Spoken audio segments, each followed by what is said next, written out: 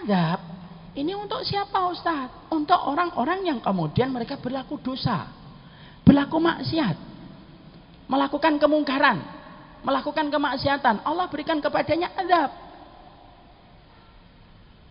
Tapi adab itu ada dua, kata para ahli tafsir. Yang pertama adab istisol, ada yang kedua disebut dengan adab goiru istisol. Apa itu adab istisol? Adab yang mengenai kepada satu kaum habis dilumat dengan adab dan tidak ada yang disisakan hidup. Itu namanya adab istisol. Contohnya adab istisol itu di mana Ustaz? Adab yang mengenai kepada kaumnya Nabi Nuh. Adab yang mengenai ke mana kaumnya Nabi Lut. Habis, tidak ada yang tersisa. Tersisa gitu, enggak. Sampai kaumnya Nabi Lut itu anjingnya aja ikut diadab sama Allah. Makanya suara lolongan anjing itu terdengar ketika daratan mereka diangkat oleh langit. Anjingnya itu ketakutan sampai melolong. Uh. Habis. Itu namanya istisol. Setelah Rasulullah Shallallahu Alaihi Wasallam diutus pada kehidupan kita, Nabi diutus pada kehidupan kita, adab istisol ini sudah tidak ada.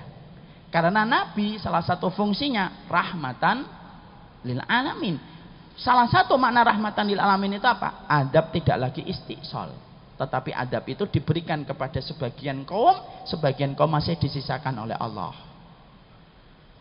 Kenapa masih disisakan? Supaya bisa menceritakan apa yang mereka alami. Dan supaya kemudian mereka bisa bertobat kalau kemudian mereka mendapatkan adab kalau masih disisakan hidup.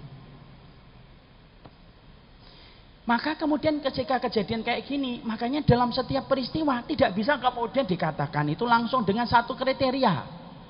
Saya tidak setuju kalau ada yang mengatakan langsung, Corona itu adab. Buru-buru mengatakan semacam itu. Tidak tepat. Di generalisir itu tidak tepat.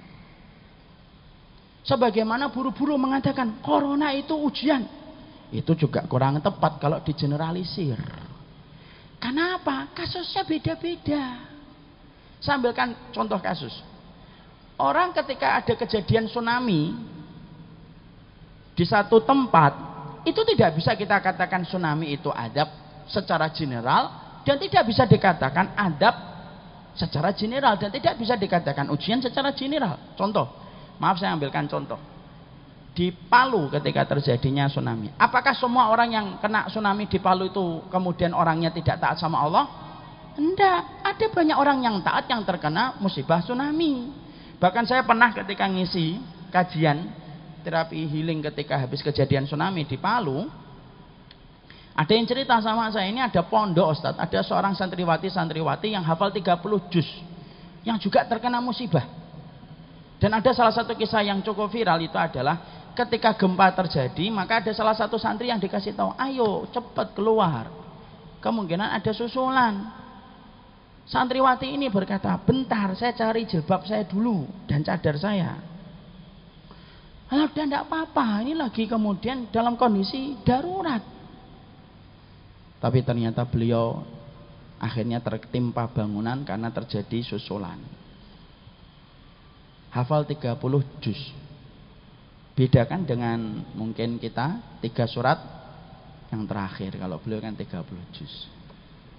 Kalaulah beliau kemudian terkena tsunami dengan ketaatan beliau sore hari maghrib itu kemudian tiba-tiba mungkin dia dihanyutkan oleh tsunami terseret dengan pusaran tsunami terbentur dengan kayu terbentur dengan mobil terbentur dengan motor terbentur dengan paku dan tembok yang ikut terseret kemudian dia tidak bisa nafas, kemudian harus minum air tsunami yang pekat karena sudah bercampur dengan lumpur, kemudian lumpurnya masuk ke paru-paru, lalu dia tidak bisa nafas sampai kemudian perutnya menggelembung karena kemudian terisi dengan air. Dan dia tidak bisa menyelamatkan diri karena terjangan tsunami tidak bisa dilawan dengan secanggih apa pun kita berenang maka semua itu sampai akhirnya dia menutup mata terambil kemudian ruhnya dari jasadnya ketika meninggal dalam tsunami itu kalau sebelum tsunami itu datang dia dalam kondisi taat kepada Allah semua sakit yang dia dapatkan dari awal sampai dia menutup mata itu adalah ujian untuk menggugurkan sebagian besar dari dosanya supaya ketika balik kepada Allah sudah terhapus dengan ujian yang dia peroleh.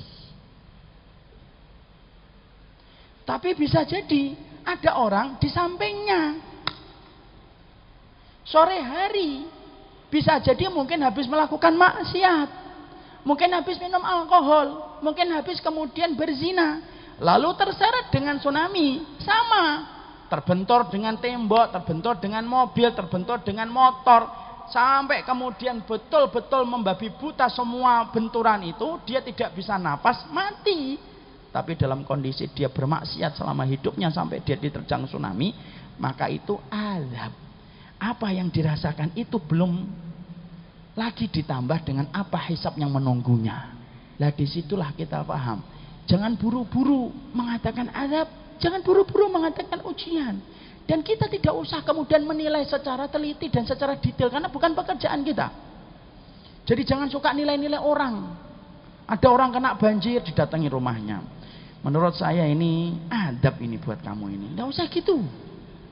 Ada orang penyakit, oh penyakit itu dua, ada adab dan ujian. Tapi antum ini cocoknya ini adab ini, tidak usah gitu. Karena itu menjadi pembelajaran untuk kita dan menjadi hikmah dalam kehidupan kita.